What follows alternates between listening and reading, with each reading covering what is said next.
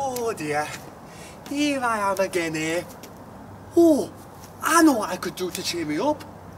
I could put on the Christmas lights. Oh yes, what a good idea.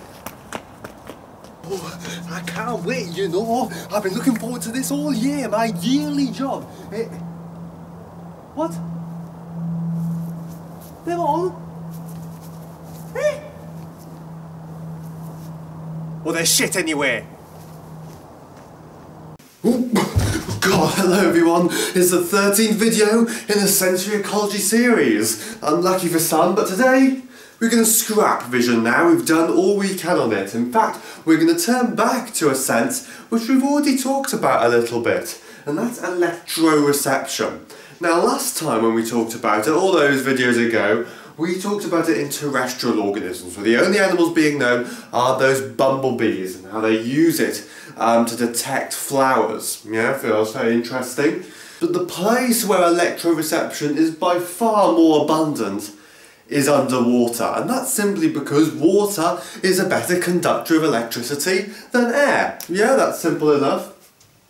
So we talked about how electrical electroreception is the ability to perceive um, electrical stimuli. There's some basic physics.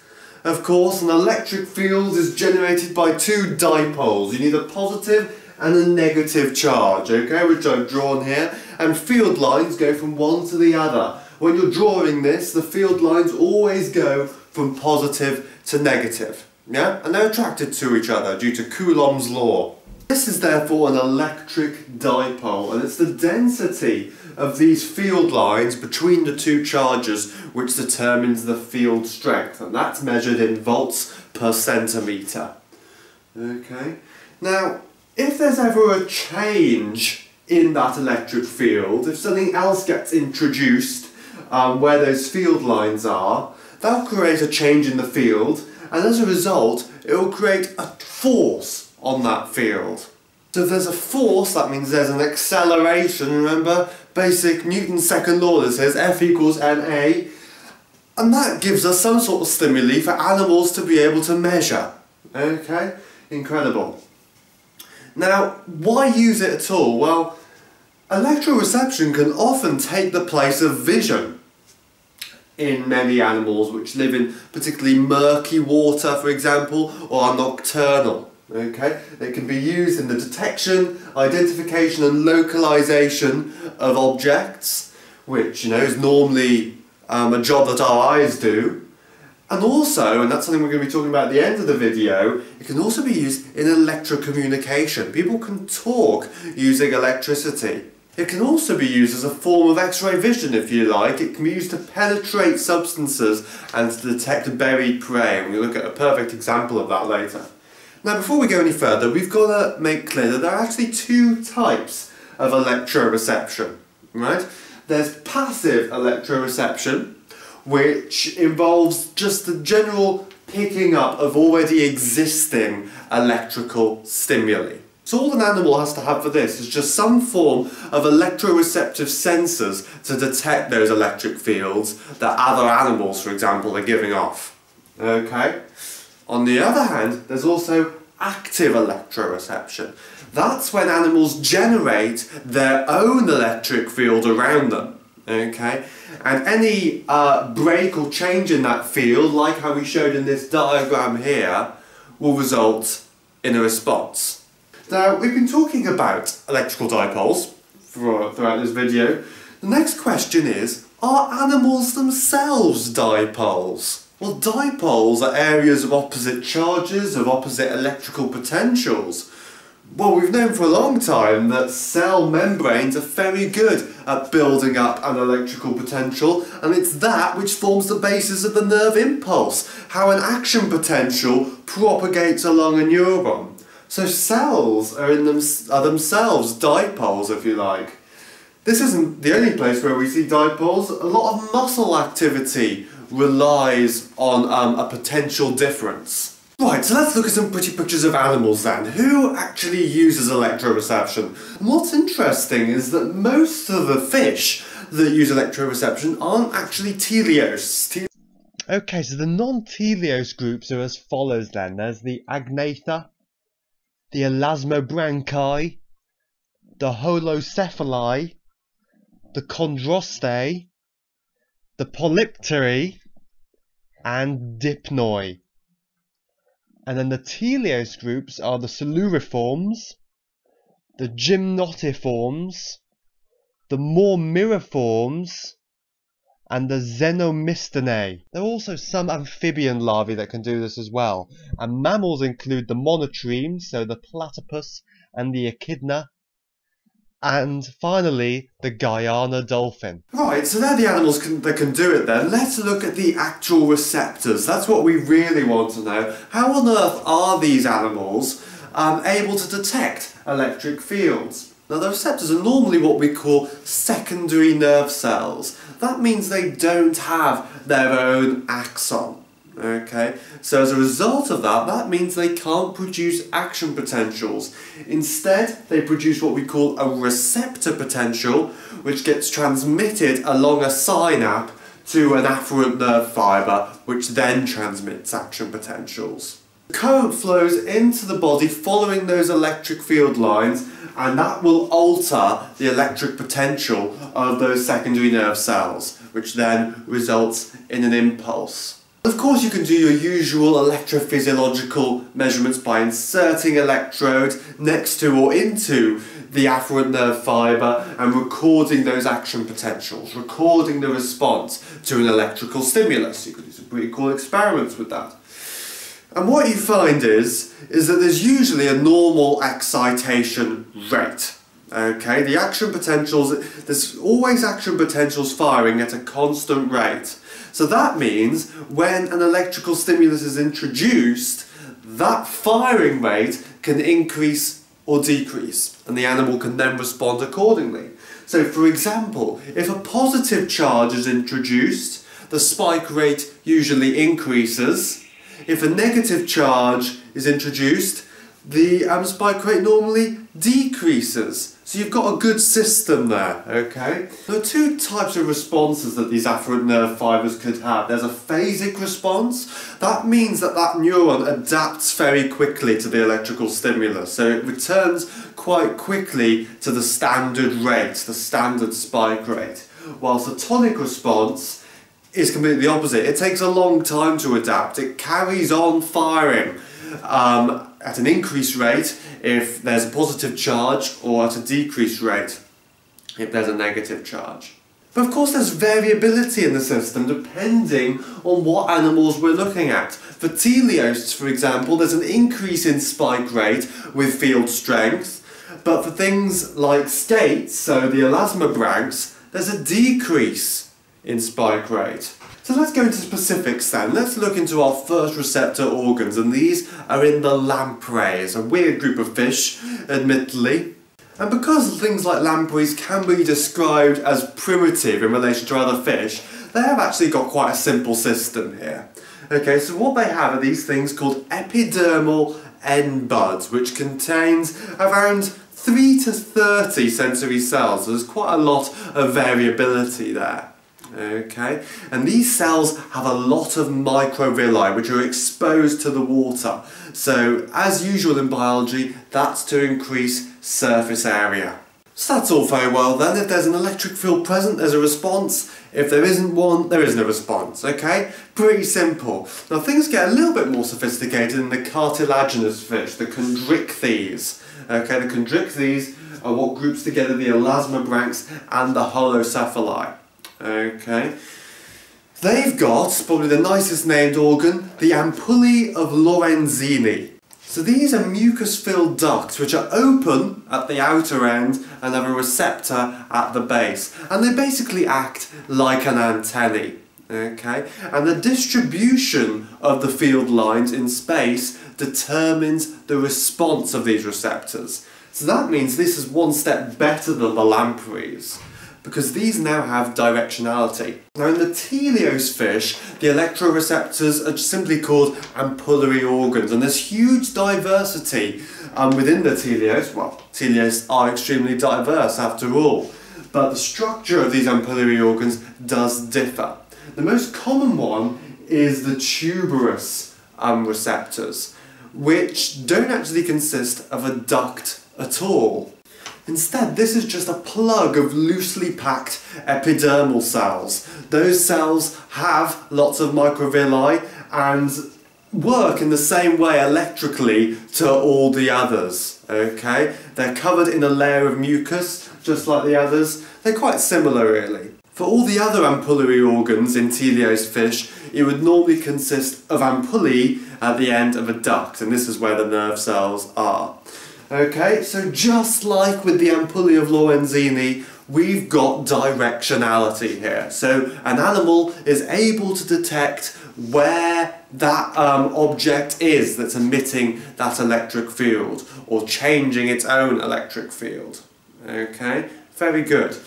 Now, when it comes to things like the platypus, you've got something a little bit different here. Their electroreceptors are modified mucus glands. Which makes sense really because in the receptors of the teleosts and the chondrichthyes, these involve mucus-filled ducts. So that's sensible, isn't it? And here, inside these mucus glands, there are three nerve endings which directly interact with the electric field. Okay, okay, so that's the basics of the receptors then. Hopefully nothing too taxing there. And that's because all these electroreceptors are really quite similar. And that's because they're all doing similar jobs. Most of these animals are using um, electroreception for the detection and localization of objects. So that means all the receptors have to fit all the correct criteria. Now, what differs between animals is the distribution of these receptors on the body, and that, of course, depends on their ecology. This is sensory ecology, after all. So, for example, if you're something like a shark or hammerhead shark, for example, with you know its long head full of receptors, those um, animals are looking for fish that are hidden on the sea floor under sand and whatnot. Okay. So that means the distribution of these electroreceptors, the ampullae of Lorenzini, are mostly on the ventral side of the body. Makes sense, doesn't it? Because if you're trying to detect a flatfish or something hidden under the sand, then there's no point in having electroreceptors pointing upwards. right? If you look at something called the sandbar shark, which is a more pelagic um, species, so it could be detecting um, fish from upwards or downwards, and there's a more or less a 50-50 distribution of electroreceptors um, on the ventral and the dorsal side of the body. So most of these electroreceptors are for detecting objects, so electrolocation, if you like. Now, of course, there's two different types of electrolocation as well. There's passive and active electrolocation. So let's look at passive first, and a brilliant, absolutely classic experiment which helped to demonstrate this was done by Kalmijn, if that's how you pronounce his name, in 1971 on cat sharks. Okay, this is really quite a simple experiment, and it tells us an awful lot. So this was probably done in an aquarium, I'm imagining, where these cat sharks were kept. And these cat sharks were introduced with loads of different stimuli. So they started off by introducing um, a dead fish. These are ventral hunting species. They normally find um, prey that are hidden underneath the sand. Okay, so the question was, how on earth do they detect buried prey underneath the sand if they can't see them? Okay, so what they did is that they stuck a dead fish underneath the sand. And this fish was kept in an agar chamber. Now what's that for? Well an agar chamber excludes any chemical stimuli. So it gets rid of the possibility that the shark would be able to smell the fish that's hidden underneath the sand, because that would completely ruin the experiment, right? So what they found was that the shark couldn't detect the fish. And why is that? Well, it's because it was dead. Okay? There's no heartbeat. There's no muscle movements. That means there's no electric field generated by a dead animal. So that means the shark couldn't detect it. Next what they did is that they shoved two electrical dipoles in the agar chamber and put it underneath the sand. Okay, so these are basically two electrodes generating an electric field. And what did they find? Well, the sharks went for them, of course, and more interestingly, the sharks chose these electric dipoles over actual live prey. Okay, that's presumably because these electric dipoles were generating a bigger electric field. So that was suggesting to the shark that, Jesus, God, there's a big meal under there, I'm going to go and get it. Okay, so this really is conclusive proof that these sharks are using the electric fields emitted by their prey in order to detect them. Okay, there's no vision because they're buried underneath the sand, they can't see the fish. There's no chemical stimuli, there's no olfaction um, because of the agar chamber. So what about active electrolocation then? Well, as mentioned earlier, that's when an electric field is actually generated by the animal itself. And any change in that electric field generated by an object um, coming in and coming across the field lines, that will be picked up by um, the animal. Okay, so objects modify the field depending though on their impedance. So it's electroreceptive organs in the skin which pick up the changes and then these then get transmitted to the CNS which interprets the input. Okay? So say if something which is more conductive enters the electric field produced by a particular animal. Well that means the field lines will get closer together, it'll get stronger, okay? And vice versa if there's something less conductive. So that already gives these animals something to work on. Now, a guy called Pereira did some work on this in 2012. So what they did, they measured the response strength of those nerve fibres when a stimulus presented at different parts of the body. So a stimulus was presented in front of the body, to the sides of the body, 45 degrees, 135 degrees, and so on, all around the body. Okay? And what they found was that the response strength was greatest when the stimulus is in front. And that's because there's usually a greater density of receptors at the front of the body, at the head, okay? Which makes sense, because that's nearest the mouth. And if an animal is trying to detect prey, well, it's going to want to use its mouth, isn't it? Clearly. Um, now, there's several different types of behaviours that fish use to make sure that head is in a perfect position for detecting prey. This, what, first thing is this side searching. And this gives an indication on how short range this form of sensing is, okay? If you go a far enough distance away, then the response strength against different parts of the body is pretty much the same, okay? But if the species density is great enough anyway, this isn't really an issue, okay? If you're detecting um, objects which are relatively quite close to you, it doesn't really matter. Okay, so electrogenesis then. How does it actually work exactly? Um, it must be pretty good because it's evolved more than once. It's thought to have evolved six independent times in fish, and we know that because the organs that are involved are all in different positions. Okay? So, it must be useful for something. Now, we must classify this into two different types of electrogenesis. Okay? They're what we call the weakly electric fish and the strongly electric fish. Okay, the weakly electric fish use the electric field that they produce um, just for object detection.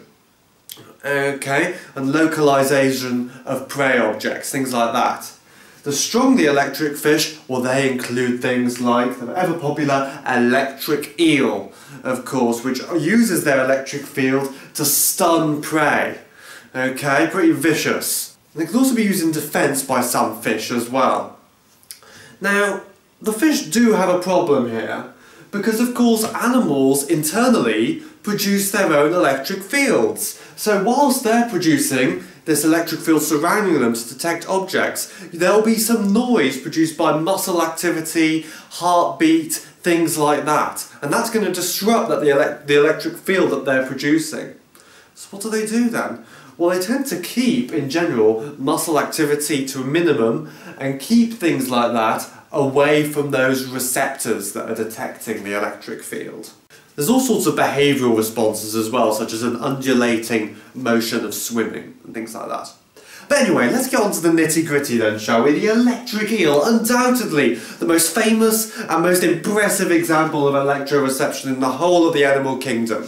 So let's see how it works. Well, electric eels can generate between 300 to 650 volts of electrical organ discharges. That's EOD for short. And that is quite a lot, believe me. Enough to um, wipe you off your feet, certainly, and potentially kill you. Okay? Brilliant. And how do they do this then? Well, they do that by basically stacking batteries. If you ever did physics, even at GCSE, you know if you stack batteries next to each other, you will increase the voltage. Obviously, okay? Because the voltage of each battery adds up. So if you had three batteries, each of three volts, then you'd get nine volts in your circuit. Okay?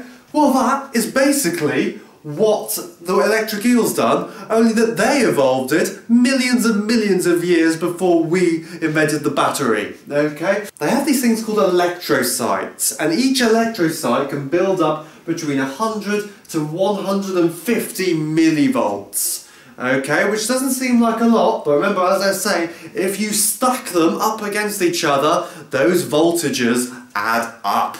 Okay, and these electrocytes are basically derived muscle cells. They're very specialised indeed. Now, the thing which builds up this electrical potential in each electrocyte is because motor neurons only connect to one side. Okay, so it charges up one side but not the other. Well, there you go then. That's what creates a battery. From one side of the cell to the other, you've got a potential difference, a voltage. Okay?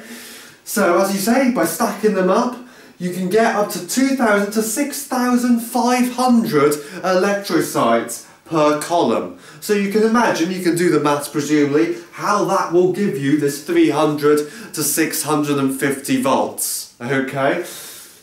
But also, it's not just one big stack of electrocytes, you've also got rows as well. Okay, further increasing the current. Okay, so it's the stacks of electrocytes which increase the voltage, it's the amount of rows you have which increases the current. And that leads to a pretty impressive electric shock which these electric which electric eels produce when they want to stun their prey. And all this was basically summarised by Gotter et al. in 1998. Now, some other people called Albert and Crampton in 2005 looked into this a little bit further. Now, what the electric uh, eel can do, it can send off um, an impulse to those motor neurons as a single click, or it can send it as a series of clicks. Okay? And if when you send it as a series of clicks, what you get, you can measure it, and what you get is your sinusoidal wave. So this means a spectral analysis can be undertaken and you begin to see something which is quite similar to what we've talked about in the acoustics in terms of the frequency of um, this impulse. Okay, so what you get is a dominant frequency and various overtones, harmonic overtones. Synchronization of receptors is crucial here, and this is where a potential problem arises. Okay? Because if you want to synchronize the discharge of all those thousands of electrocytes, you've got a problem. Because each of those motor neurons is at a slightly different distance from the brain. Okay, so that means some action potentials will arrive quicker than other action potentials. So, what the brain has to do then, or what the nervous system has to do, is to resolve this. A common solution is that motor neurons which are closer to the brain actually make themselves longer by taking detours around the body.